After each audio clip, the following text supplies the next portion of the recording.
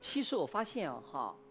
就是来自台湾地区的女孩子说话特别自信。我觉得首先是整个台湾地区男性朋友们对女孩子包容性比较强，爱护、怜惜、尊重。对，而且他们允许女孩子只要她想怎么说怎么说，无论她的发音各方面都不重要，只要这个女孩子可爱就好。但咱在大陆地区，男人挑剔女人呐、超过挑剔自己，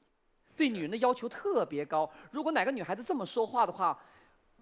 怪了，就是他们喜欢的，喜欢归喜欢，是 他会挑剔的。你知道，你像我做这个《锵锵三人行》节目，一个男嘉宾，大家不挑剔他长什么样子，对甚至说话的声音；一个女嘉宾呢，这观众是最苛刻，甚至说我不喜欢她笑的声音，对了，她笑的太高这了这。个世特别界对女人充满了恶意，对，充满了恶意。刚才我看他讲的时候，我觉得，哎呀，这是都是中国文化，但两个地区的对女人的态度截然不同。哦刚才我想到这一点特别多。